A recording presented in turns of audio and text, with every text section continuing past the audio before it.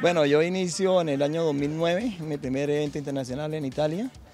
Eh, año por año hemos ido a los diferentes eventos, tanto pista como ruta, a las Copas Mundo, a los Eurocopas, a Juegos Paralímpicos de Londres.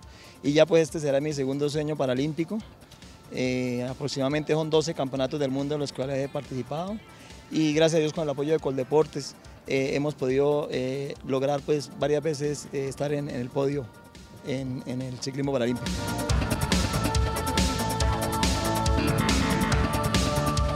Yo hice tres diplomas, estuve muy cerca de la medallería.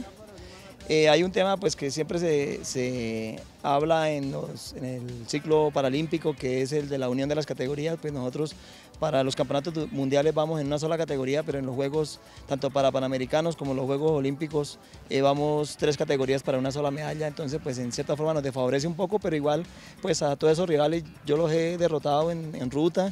Eh, en pista pues también he obtenido una medalla y, vamos pues para estos juegos con la mejor intención de, lograr la mejor figuración.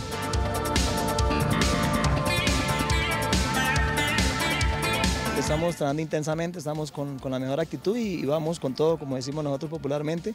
Eh, soñamos pues, con estar en, la mejor posición posible, eh, porque no en la medallería y, ojalá pues eh, toda la selección traiga muy buenas sorpresas y, responder a toda la afición, a todas las instituciones que nos están apoyando.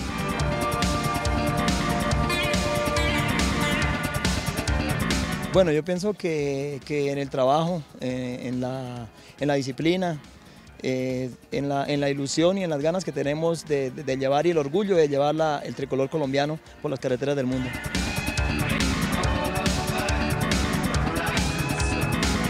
Gracias por, todo el, trabajo que se ha hecho en los últimos años de igualar tanto el deporte paralímpico como el deporte olímpico.